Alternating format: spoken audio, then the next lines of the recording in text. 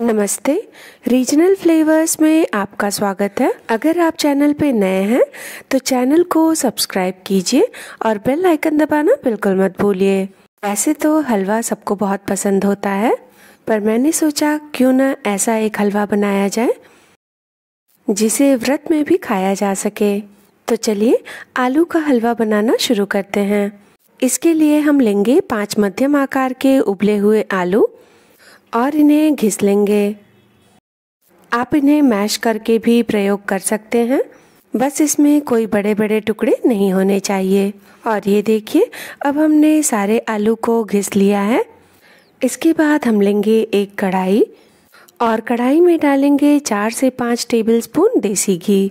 ये मैंने one fourth cup वाला मेजरिंग कप लिया है। और इसमें से थोड़ा घी मैंने बचा लिया है। अब घी को हम अच्छी तरह से गर्म कर लेंगे और घी के गर्म होने पर हम इसमें डाल देंगे छः काजू और छः बादाम और इन्हें सुनहरा और कुरकुरा होने तक भुन लेंगे। अब काजू और बादाम भुन चुके हैं, इसे हम कढ़ाई से निकाल लेंगे और इन्हें कढ़ाई से निकालने के बाद हम इसमें डालेंगे आठ से दस किशमिश। किशमिश को हमें कढ़ाई में छोड़ना नहीं है। जैसे ही ये फूलने लगे, इसे हमें कढ़ाई से निकाल लेना है। अब किशमिश भी हो चुकी है, इसे हम कढ़ाई से निकाल देंगे। और कढ़ाई में डालेंगे घिसे हुए आलू। आलू को कढ़ाई में डालने के बाद हम इसे तब तक भुनेंगे, जब तक ये घी छोड़ने ना लगे। अब हम आलू को घी के साथ अच्छी तरह से मिला लेंगे और इसे धीमी आँच पर भुनेंगे।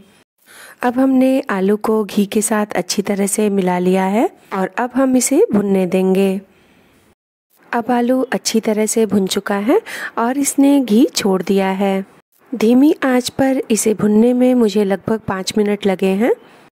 आलू के अच्छी तरह से भुनने के बाद हम इसमें डाल देंगे आठ से दस इलायची के दाने निकालकर उसे कूट कर इलायची पाउडर और आधा कप चीनी।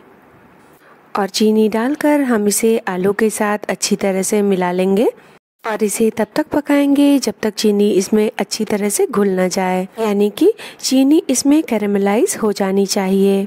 जब चीनी इसमें अच्छी तरह से घुल जाएगी तो हमारे हलवे का कलर बदल जाएगा और हलवे का रंग सुनहरा हो जाएगा। हलवे के अच्छी तरह से पकने के बाद जो ड्राई फ्रूट्स हमने फ्राई करके रखे थे, उसे हलवे में डाल देंगे। और इसे डालकर हम हलवे के साथ अच्छी तरह से मिला लेंगे। अब हमारा आलू का हलवा बनकर तैयार है। अब हम इसे सर्व करेंगे और इसका आनंद लेंगे। अगर रेसिपी अच्छी लगी हो तो वीडियो को लाइक कीजिए, चैनल को सब्सक्राइब कीजिए और बेल आइकन दबाना बिल्कुल मत भूलिए, ताकि फ्यूचर वीडियोस की नोटिफिकेशन आपको मिलती रहे। इस वीडियो को दोस्तों के साथ शेयर कीजिए। अपना और अपने परिवार का ध्यान रखिए। आपसे मिलते हैं हम अगली वीडियो में।